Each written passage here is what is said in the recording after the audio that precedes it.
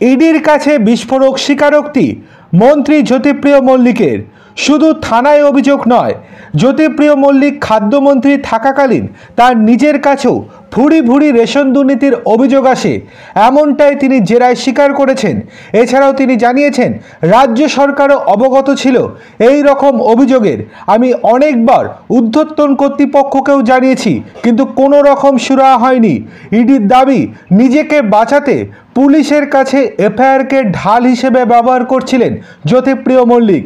এবার সেই বিষয়টি খতিয়ে দেখবে ইডি।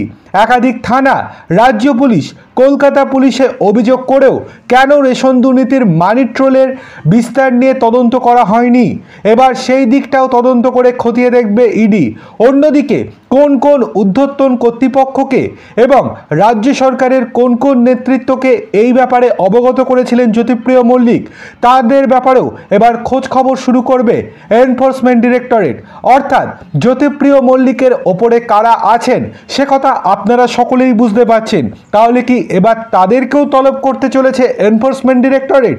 প্রশ্ন কিন্তু উঠতে শুরু করে দিয়েছে আজকের পর থেকে।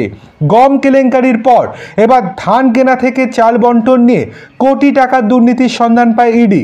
অভিযোগ, ধান চাল কলে পাঠানোর পর ভুয়ো কৃষকদের নামে বিল তৈরি করতে কুইন্টাল পিছু দুশো টাকা নিতেন চাল কল মালিকেরা।